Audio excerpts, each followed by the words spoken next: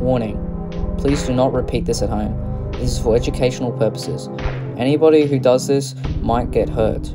We are not liable for any injuries caused by DIY projects based on our videos. Hey, yeah, yeah, yeah, you know, gel blasting, pinnacle of Australian sport. Too bad it isn't a sport. But my mate, he broke his uh, gel blaster. Same guy who gave me the G-Shock. So today I'll be taking this apart and seeing if I can fix it. So let's begin. Just be one take because all gel blasters and tech use similar screwdrivers. Uh, it's very hard to find your screw set or you just need like um, better screws. You, this is around about 20 bucks, or no, $17 from Bunnings Warehouse, this Trojan kit, and it gives you a large range of screws are really useful for tech and stuff. I got one from Super Cheap. That was where my, it was like 10 bucks. Was it? So these are the most simplest um, gel blasters you can buy in terms of parts. In fact, I have an exact same one of this, thanks to my mate.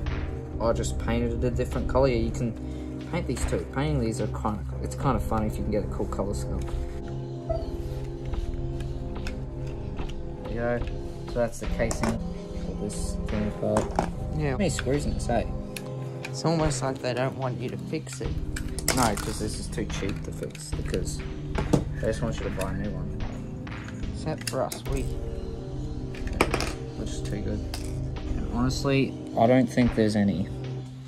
If I had to guess, it would probably be just that the mechanism might have gone out of whack.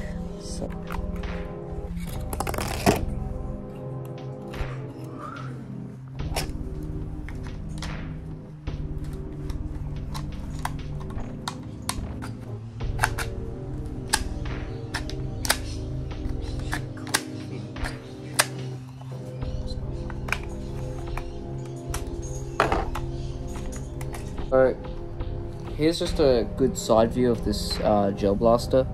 So basically, where that this where that snap is, there's supposed to be a um, lip, which this can catch this on, and pull it and pull the actual plunger back that way. But it's actually snapped because um, my friend here was using it as intended, and clearly, um, plastic is just really bad plastic. So if I were to pull this back, it load everything, you'd feel some resistance, but, and you'd think you've loaded the gun, but in actuality, you haven't actually pulled the spring back, cocking back the firing mechanism. Well, what's the moral of the story? Moral of the story is to is to buy good gel blasters, um, treat gel blasters well, and keep watching my videos so you can learn how to fix multiple. Thank you guys for watching.